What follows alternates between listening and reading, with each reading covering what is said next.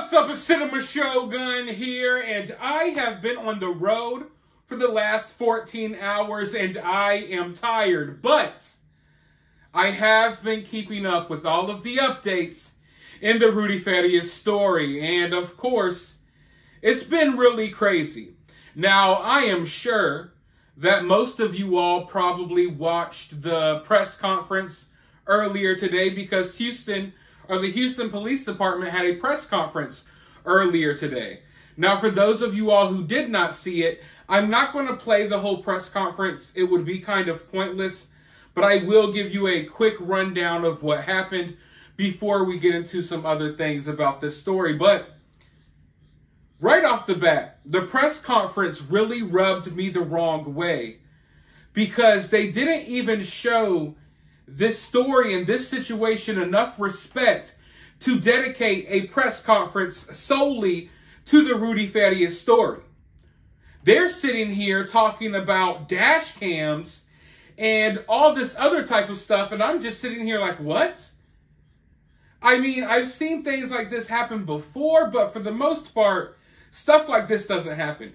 We have a young man that was missing for eight years and finally, finally, we're getting some acknowledgement from law enforcement, but they figured, oh, we're going to do a press conference, but we're going to make the press conference about two things. We're going to talk about funding for new dash cams, and we'll get around to talking about that kid who supposedly was turned into a sex slave for his mom. We'll get to that later, but first, let's talk dash cams.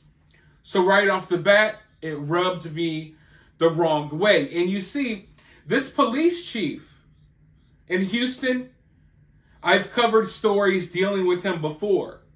The Houston Police Department has dropped the ball plenty of times. This is the same police chief that we were dealing with. I don't know how long you've been subbed to my channel. This is the same police chief we were dealing with during Astro World. And we know how badly law enforcement dropped the ball at Astro World. And it turns out they have dropped the ball here in this story as well. Not only are they continuing to drop the ball, they're punting it right out of the football field. And they've been dropping the ball for the last eight years. Now, what big information was revealed at this press conference? Well, we heard the claims yesterday about what Rudy told the person who he opened up to. I believe his name is Quanell. He's an activist that they kind of get in, they bring in every now and then. He he makes people feel comfortable with opening up and talking when they're not necessarily comfortable talking to law enforcement. Well, we've gone over all of the claims that Rudy made. I'm not going to go over them again here. It's some sick and twisted stuff. Well, law enforcement basically tried to downplay this entire situation in their press conference. They claimed that there was no um I, I, SA. There was no SA. No A B U S E of the sexual type. Okay, they say that basically, oh, Rudy didn't tell us that his mom did anything to him. That's what law enforcement said. Do I believe them? No. They also stated that they're not charging the mom. But guess what else we found out? We found out that law enforcement has had run ins with Rudy several times over the years. Investigators or law enforcement has gone to Rudy and his mother's house. They've talked to Rudy and his mom, and they both gave fake names and fake aliases of who Rudy was. HPD, the Houston Police Department, were well aware over the years that there was a big fabricated story going on. They had ran into Rudy plenty of times. And now they're not charging the mother as of right now. Do you want me to be honest with you all? A lot of people get upset when you criticize law enforcement, but let's be honest. The Houston Police Department, they're hesitating right now they're reluctant to charge the mother in this situation because once charges get brought against the mother, that's almost an admission that the Houston Police Department dropped the ball for the last eight years. If they charge the mother for all of the crazy sadistic stuff she did to Rudy, that's an admission right there that the Houston Police Department dropped the ball, that they failed Rudy. So when you look, you're like, why no charges yet? Why no charges yet? Why is the DA refusing to charge her for this? Charge her for that? Because once them charges get brought up, and I, I still think there may be charges brought against her, but once there is, they know people are going to start looking at them even harder. Because now, when you charge the woman, you admit that she did something wrong.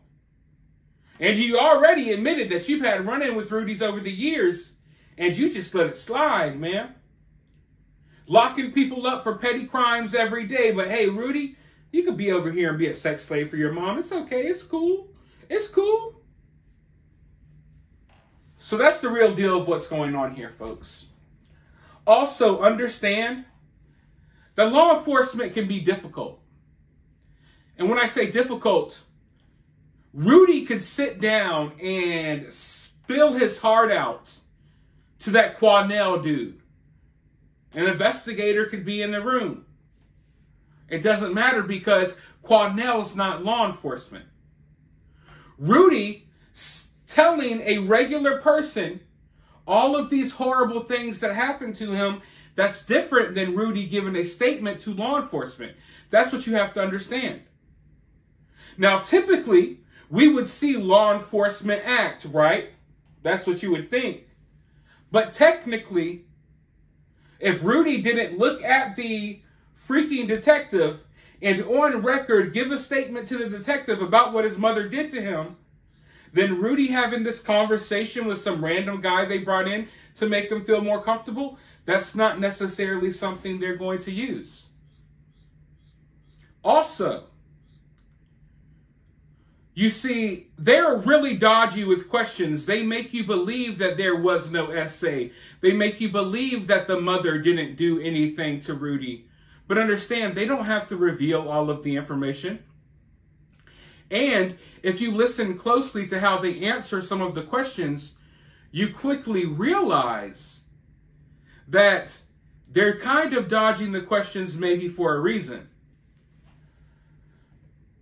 Doing things the legal way, the way the law works, it, it works in mysterious ways sometimes. It works in ways that a lot of us don't understand. One of the biggest issues we're dealing with when it comes to this story is the fact that Rudy's a grown man. So that plays a huge part when it comes to this. Rudy's not a child. But also, really think about the fact that law enforcement maybe doesn't want to reveal everything they think or everything they know right now. Because maybe right now they're trying to cook up a, a plan. They're trying to figure out what they're going to get the mom on. They're also trying to figure out how to play this right in the public's eye. And in the meantime, they don't want Rudy's mom doing anything drastic. So if they got up there in that press conference today, it was like, yeah, Rudy's mom did this. Rudy told us all of this horrible stuff about his mom. That's putting Rudy in danger. Now, Quanell, he's not a professional cop. He's coming out here trying to expose the truth. And I appreciate that. A lot of people are mad at him right now. I appreciate that he was open and honest about what Rudy told him because I do I do believe that some stories require public pressure. You have to understand that this whole situation should have not been allowed to go on for 8 years. 8 years? That's insane. The cops dropped the ball for 8 years. Someone needs to get the story out there. Pressure needs to be applied. I'm not mad at Quanell, but at the same time, you have to understand that a professional cop, they're thinking about things on different levels than the average person. So if they have to wait to figure out how they're going to take the mom down, and they can't stop Rudy from being around the mom because Rudy's an adult, that can make that decision. They're not going to want to come out and be like, yeah, Rudy told us this, Rudy told us that, Rudy told us this. You're putting Rudy in danger by doing that. And also, you're letting the mother know how serious the situation is. The cops could lie to you all day, but you aren't supposed to lie to the cops. You got to understand that Janie, the mother, whatever name she's created now, she's a flight risk. And she's capable of hurting herself or Rudy. I don't think they want her to know. Okay? I don't think they want her to know what they got planned. And I damn sure I, I damn sure don't think they want her to know everything that Rudy told them. And also, I, I, I may be mistaken. I, it may be different in certain states. I'm not sure.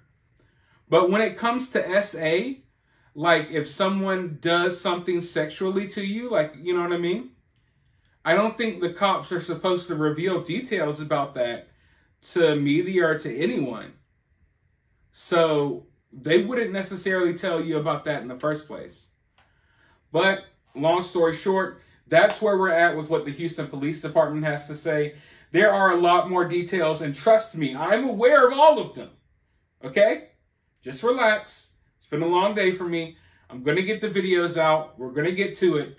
But for now, let me know your thoughts down below. While you're down there, hit the thumbs up, hit the subscribe, ring that notification bell, and I'll talk to you all in the next video.